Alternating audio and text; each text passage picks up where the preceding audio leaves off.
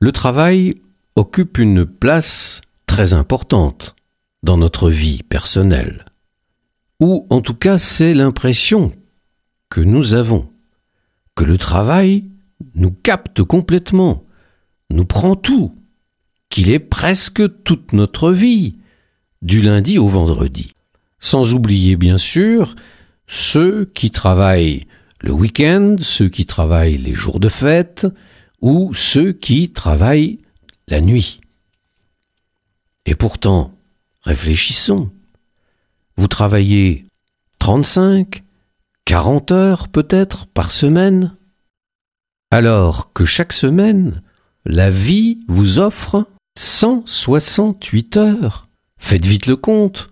Vous travaillez, mettons, 40 heures, c'est-à-dire beaucoup.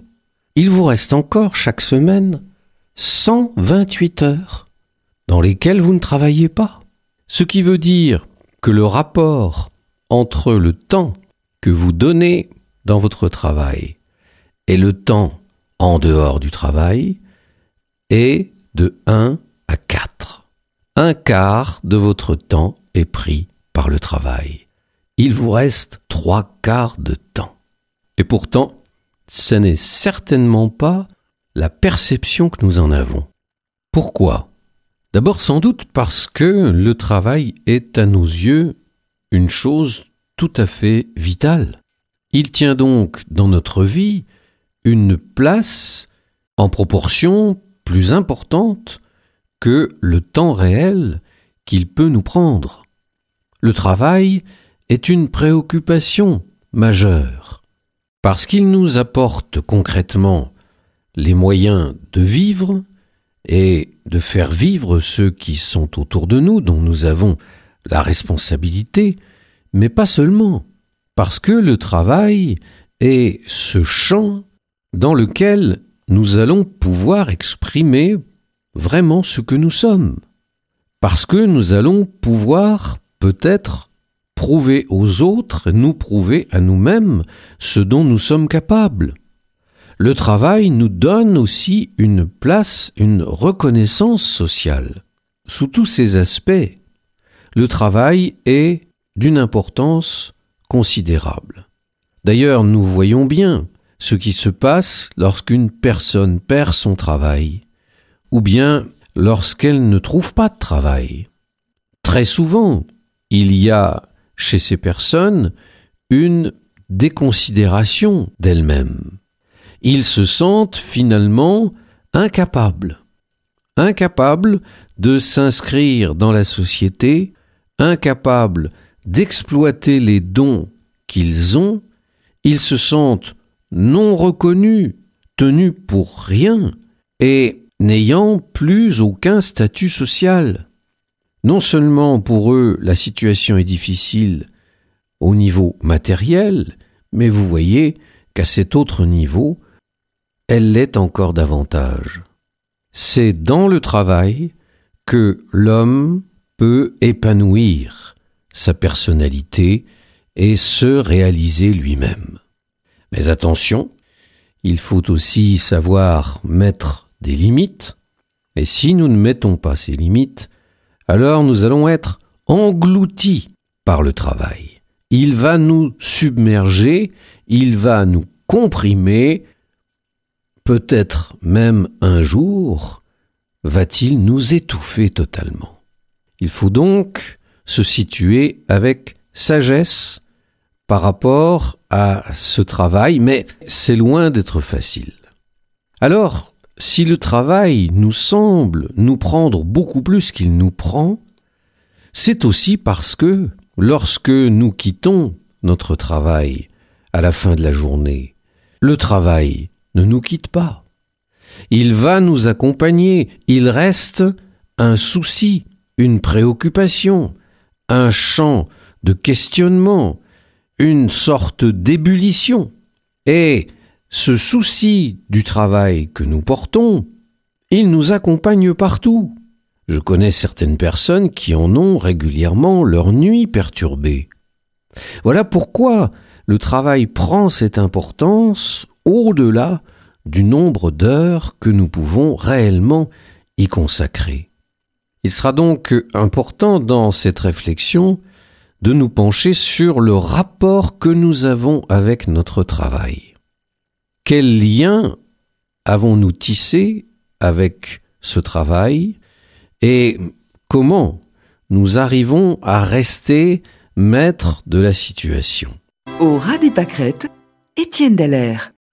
Pouvoir vivre sans travailler semble bien rester une sorte de rêve, d'idéal dans beaucoup de têtes. Vivre sans rien faire, uniquement en récoltant les fruits finalement du travail des autres. Je me souviens quand j'étais, je ne sais plus, écolier ou collégien, il y avait une sorte de mythe qui flottait dans l'air, que nous allions vers une société de loisirs, que l'homme n'aurait plus besoin de travailler, ou en tout cas de travailler de moins en moins, et de pouvoir consacrer de plus en plus de temps aux loisirs c'est la société que l'on semblait nous proposer. Quelques cinquante ans plus tard, où en sommes-nous de ce mythe? Certes, la partie loisir s'est énormément développée dans nos sociétés. Mais est-ce que tout le monde peut en profiter? Car si le temps de travail a diminué, il y a aussi le nombre d'emplois qui a énormément diminué. Alors nous avons créé des sites, des parcs, des activités de loisirs, mais si, à cause d'une mauvaise organisation finalement économique et mauvaise organisation du travail, beaucoup se trouvent sans travail, eh bien ils ne pourront pas profiter de ces loisirs. Et nous sommes aujourd'hui dans cette situation extrêmement paradoxal. Nous l'avons déjà évoqué, le travail est pour l'homme une source d'équilibre, matériel bien sûr, mais aussi psychologique et sociologique.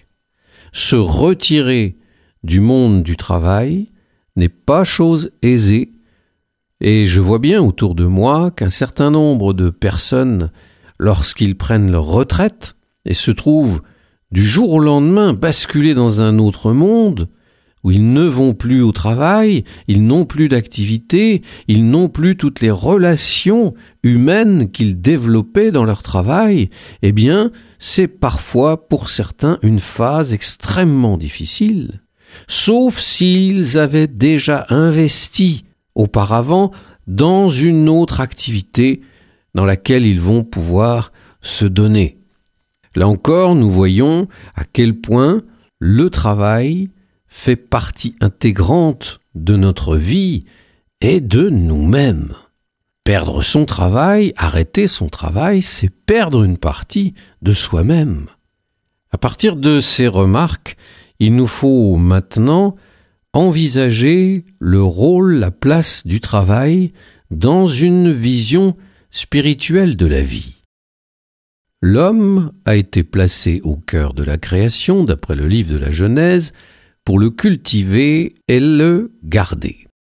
Et dans ce terme de cultiver, nous sentons de suite une notion très importante, qui est la notion du travail. On aurait tort de penser que selon la Bible, le travail est une conséquence du péché, est une punition que Dieu a fait reposer sur l'homme à cause de sa désobéissance. De fait, nous voyons dans le récit de la Genèse qu'après avoir écouté le serpent et mangé le fruit de l'arbre de la connaissance du bien et du mal, que Dieu lui avait interdit de manger, l'homme et la femme se retrouvent face à Dieu et Dieu intervient en disant à la femme Puisque tu as fait cela, les souffrances de l'engendrement te seront multipliées, et à l'homme, à partir de maintenant, tu devras travailler pour te nourrir et nourrir ta famille.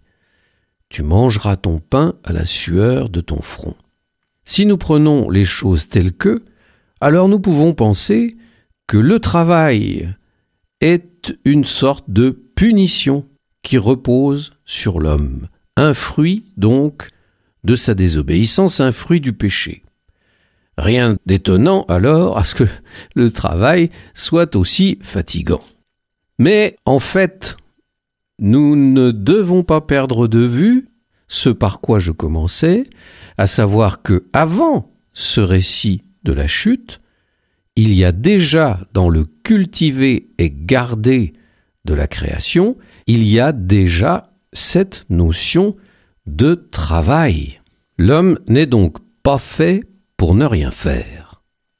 Et vous en avez tous fait l'expérience, lorsqu'on se trouve privé d'activité, eh bien très vite, les uns et les autres, on devient oisif, et très vite, notre morale commence à en pâtir, très vite nous nous ennuyons, très vite nous devenons tristes, très vite nous perdons le sens de la vie même. Alors qu'au contraire, le travail est un terrain d'application pour nous de quantité de choses très positives.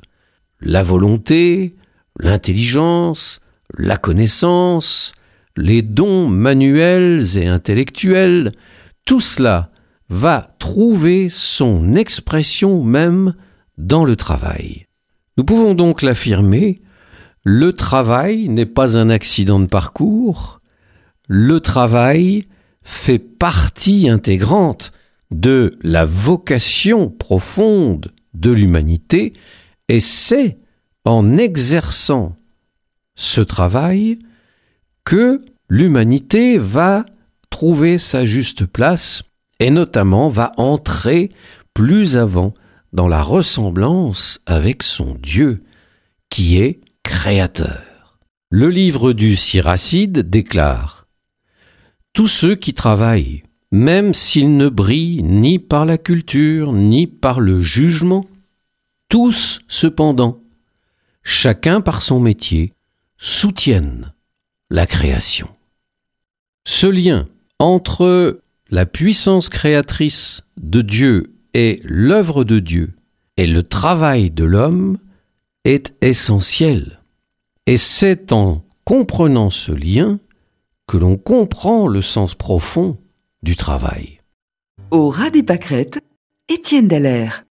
Le psaume 103 qui est un psaume d'hymne à la création, qui rend grâce au Créateur pour tout ce qu'il a fait, qui rappelle que le Créateur a façonné l'homme, qu'il a fabriqué le ciel de ses doigts comme on tisse une toile de tente, qu'il a fixé les étoiles à leur place.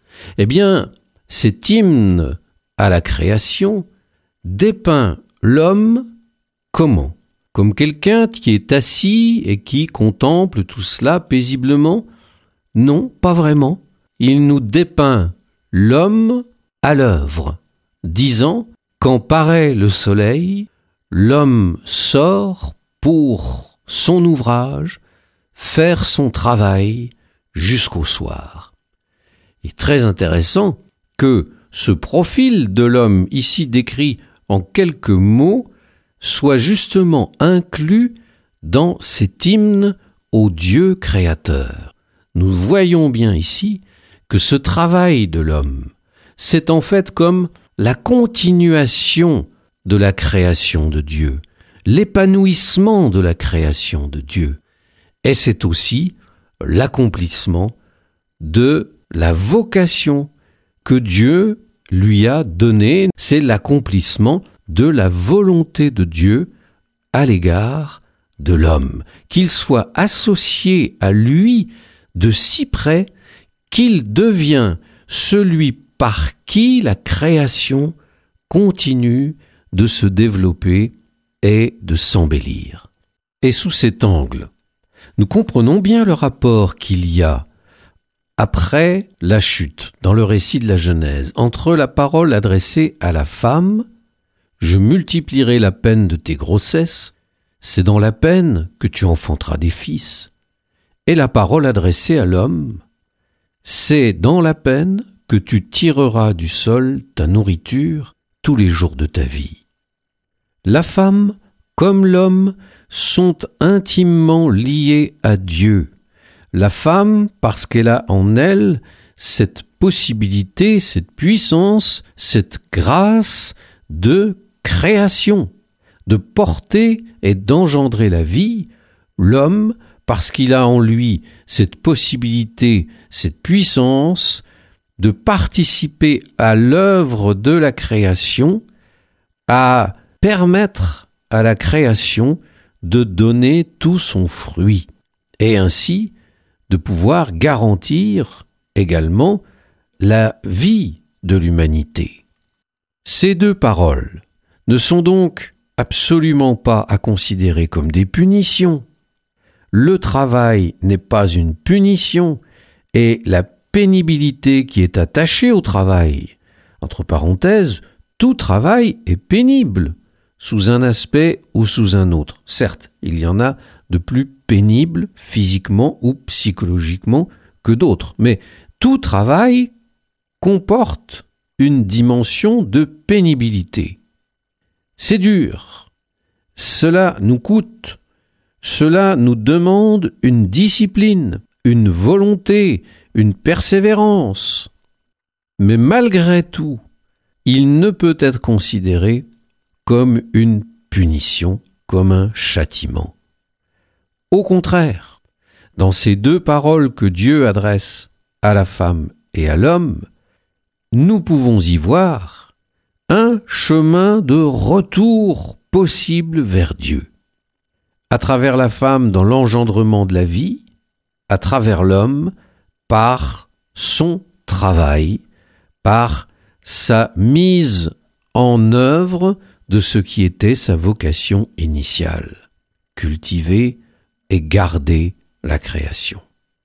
Si, au lieu d'être une punition, ces deux paroles sont des chemins de retour possibles, alors c'est de manière privilégiée, je ne dis pas unique, mais privilégiée, que l'homme et la femme reviendront vers Dieu à travers ces deux chemins de retour. Pour l'homme donc, le travail est, n'ayons pas peur de le dire, un moyen de revenir à Dieu, un moyen de lui ressembler, un moyen de sanctification.